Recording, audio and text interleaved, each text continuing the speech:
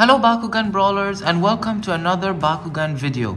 Today I'm going to be talking about the power of Bakugan Battle Gear. So in this video I'll first give a few information about what is a Battle Gear and then I'm going to go over 5 reasons on why a battle gear is a very powerful support piece to use during a battle. So without further ado, let's get straight into the video.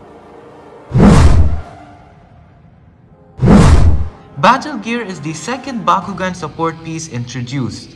It was first seen during New Vestroia, but was popularized and officially sold in stores during the Gundalian Invaders era.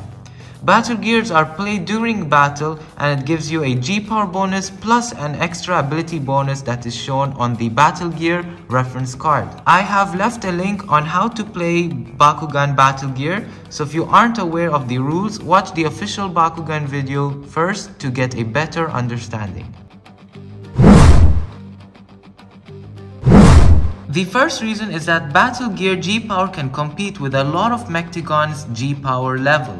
For example, a Silver Cross Striker gives you a 140 G's boost. Also, the rule does not specify if you can use a Sega toy slash Japanese Battle Gear, as these version of Battle Gear can reach up to 200 Gs, such as my Copper Zukanator.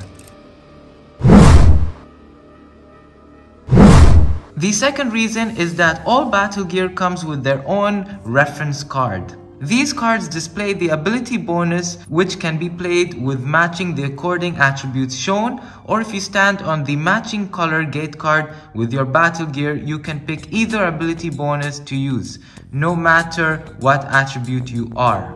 A great example of this is Gigarth Ventus ability bonus. It says Remove one ability card from your use pile from the game, then move one ability card from your use pile to your unused pile. This is basically a great way to reuse one of your powerful ability card in battle. The third reason is that there are tons of abilities and gate cards that affect a battle gear in battle. Most of the gate card gives a 2-time battle gear printed G boost and also some allows you to block which color of battle gear is being played. Here are two cards that I recommend playing. Copper Sword which gives a copper gear a printed G power and extra time and AG Wind a silver gate card which only allows silver battle gear being played in this battle.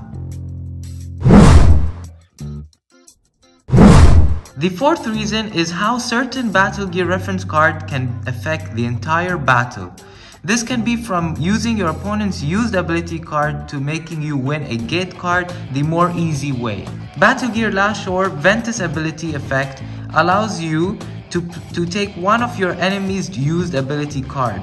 For something more intense, Barias Gear Chaos ability effect allows you to win one empty gate card on the field if you lose a battle by more than 300 G's difference against your opponent.